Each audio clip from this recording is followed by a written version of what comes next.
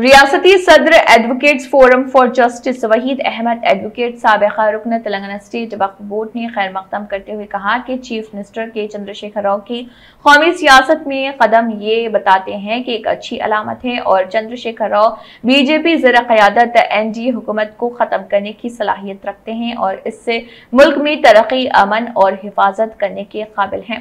के C R के कौमी सियासत में कदम रखने पर अवाम में एक उम्मीद पैदा हुई है। कौमी सतह पर सियासत में आने के फैसले का खैर मकदम करते हैं। वहीद अहमद ने कहा है कि सियासत में बाज लोगों के कदम बहुत ही अच्छे होते हैं।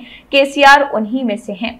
ये जमहूरियत और मुल्क के लिए हमेशा अच्छा रहेगा। चूँकि पिछले 22 सालों से के सी आर कामयाब रहे हैं।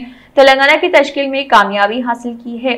केसीआर कौमी सियासत में दाखिल होने के बाद भी अपना असर डालेंगे। वहीद अहमद ने कहा है कि बीजेपी और कांग्रेस इकतदार में आने के बाद अवाम की उमंगों को पूरा करने में नाकाम रहे।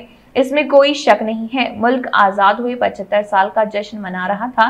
कांग्रेस के बाद बीजेपी ने कई सालों तक मुल्क पर हुकूमत की ताहम दोनों कौमी पार्टियाँ अवाम की उम्मीद को पूरा करने में नाकाम रही। वहीद अहमद ने कहा कि वजी नरेंद्र मोदी के दौरे हुकूमत में लोगों को बहुत से मसाइल का सामना है। मरकजी हुकूमत ने रोज़गार पैदा करने, अमन व अमान को बरकरार रखने और दीगर अहम शोबों में आपाशी में लोगों की जरूरियात को पूरा नहीं किया। ये पूछे जाने पर अवामी दुश्मन पॉलिसियों का पैदा किया और नफरत बढ़ाई। उन्होंने कहा कि कौमी सियासत में के सी आर के आने से अवाम को यकीन पैदा हुआ और उनकी मदद भी मिलेगी। हम खुद गुजशत चंद सालों से के सी आर का मुशाह कर रहे।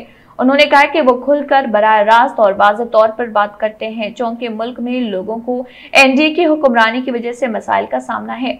केसिया ने रोशन डाली और कौम को दरपेश मसाइल पर तशवीश का इजहार किया और कहा कि मरकजी हुकूमत अपने फ़रज़ को निभाने में बुरी तरह नाकाम रही है। उन्होंने मजीद कहा कि उसे ज़रूरी अशिया की बढ़ती हुई कीमतों, महँगाई, बेरोजगारी को सिर्फ़ के ही दूर कर सकते हैं।